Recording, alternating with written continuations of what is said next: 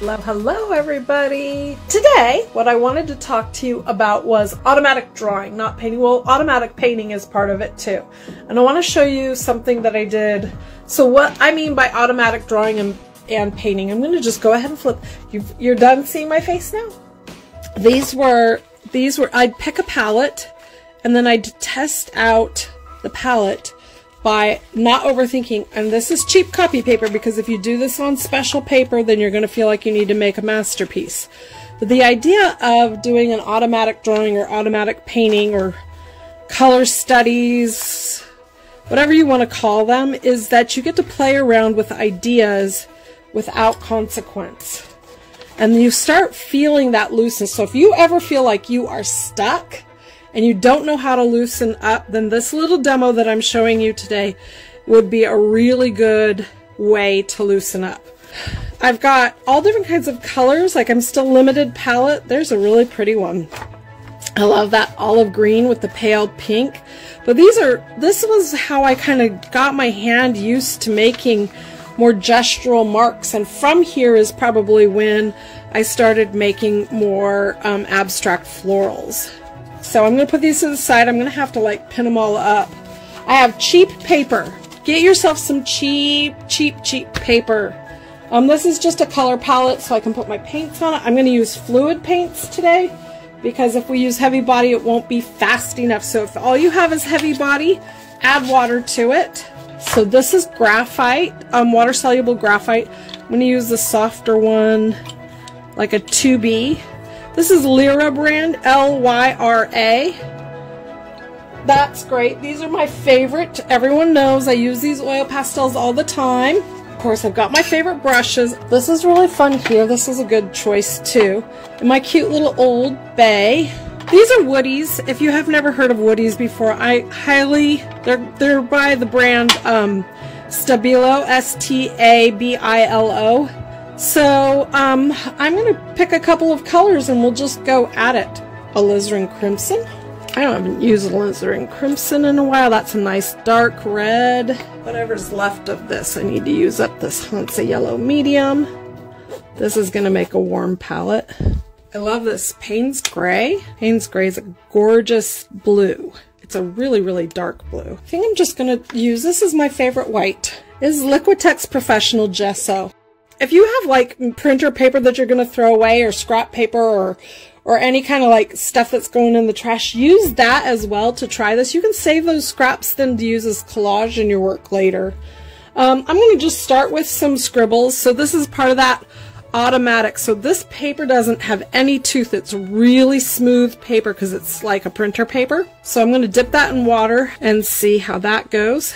Look at that. So see how your hand goes and, and what kind of marks you're going to make. And then come in, we want to mix up. We get some yellow on that. We'll make it kind of a greenish color.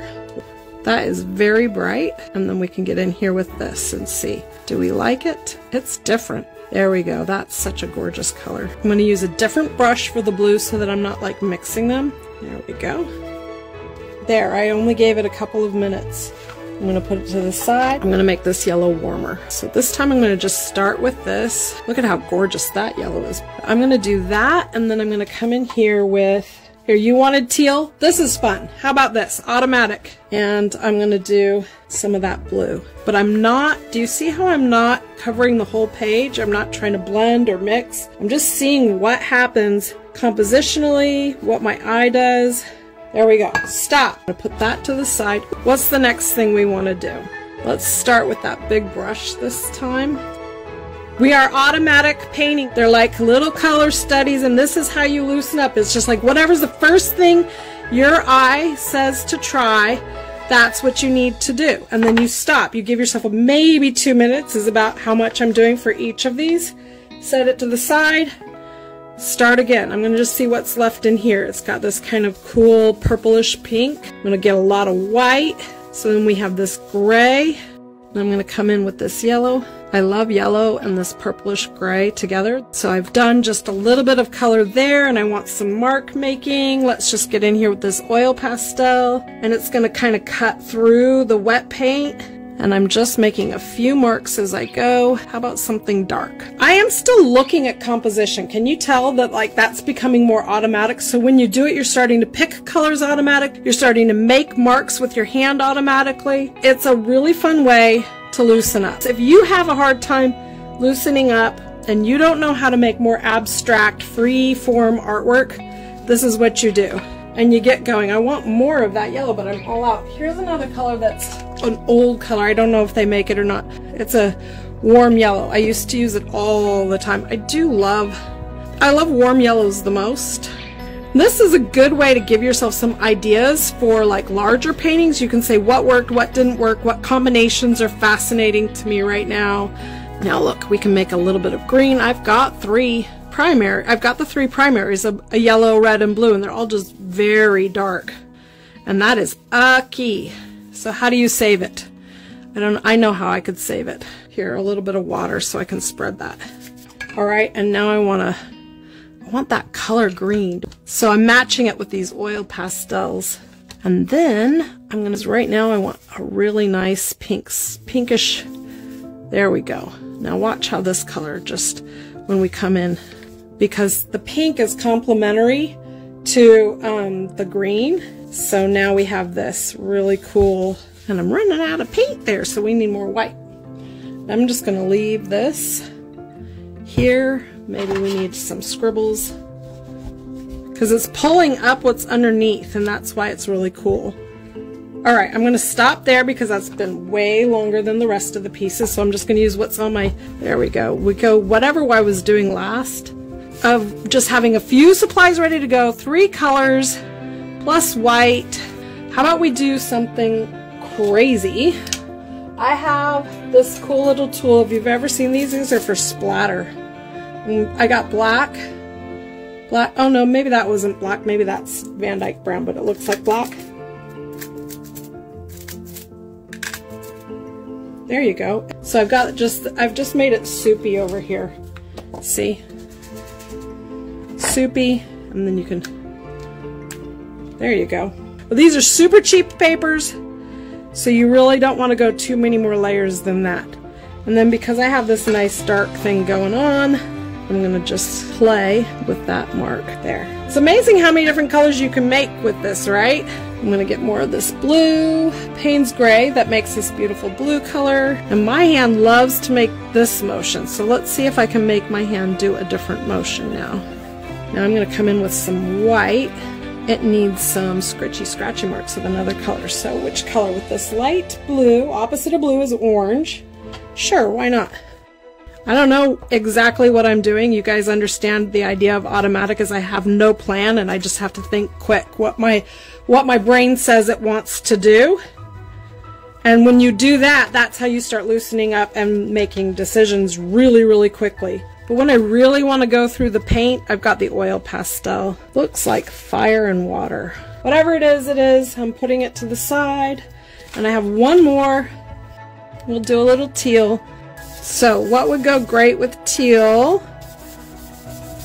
Like kind of a rusty pink. Let's see, what brush could I use that would be different? Have you ever used a baster? Um, so I'm going to mix a little bit to make this kind of peachy color, peachy pink. There it is. I'm making a nice mess for you guys. So now I have this ridiculous thing for painting with. The whole point is is to loosen yourself up. You've got to like allow yourself to experiment with things that you wouldn't have expected to experiment. Look at how pretty those colors are. Isn't that so gorge? Think of this, you know, very well loved and known Southwest colors, which is always like the very warm colors with teal I feel like it needs another color. What am I to do? Like an actual orange? Maybe red. Oh yeah, look at how cool that looks.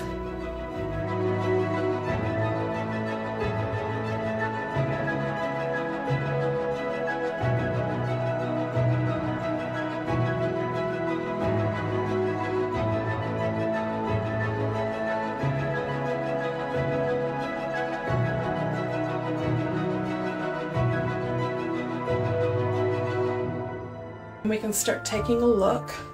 That one's still dripping. Automatic painting and drawing to loosen you up. I want to see everyone posting their automatic drawings today.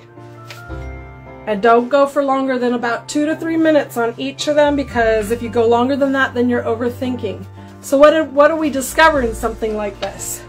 Those colors are great. Limit your palette and then try to have a dominating color in it. Well, look at that. There's some, some contrast in darks and lights. We've got this pink and green, which is gorgeous, and all these fun marks. Is every single one going to turn out great? No, because I don't even really love this one, but it was fun. I got some good colors there. This one was gorgeous. This is one of those, I think I painted it this way, but doesn't really matter. That one's like, oh my goodness. There are certain things that you learn with time and painting, which is composition, color, and design. So in the automatic phase, what's happening is, is all of those things that I've been learning, I'm standing up higher so that we can talk and see. All those things that I've been learning for so long now are becoming automatic. And now the automatic phase is for me to just let it out. After you've done something long enough, you start understanding all the color composition and design. And maybe these first ones might turn out like a hot mess for you, but if you did a hundred of them and then you did a hundred more, I promise you, it's just time. It's just time that you put into it. There's no way to not be good. The point though is that they have to be automatic. They can't be pre-planned. Just pull out a few supplies and limit yourself to two to three minutes for each of them and do it on copy paper, like cheap, cheap printer paper. That's it. So that it's going to bleed through. And if you're like, but what do I do with all of it when I'm done? Throw it out. You get to make art that you can throw out or use as collage material. I don't want you to think of these as anything more important than that, okay? Is that a deal? I also know in order to get to that point where I have something of value, I have to make a lot of shit first. You just do. In fact, I have a I have a garbage can full of garbage right now. That's all artwork that I've torn up. And you know what? It's so freeing to be able to make work that you don't care about, all right? Have a great weekend.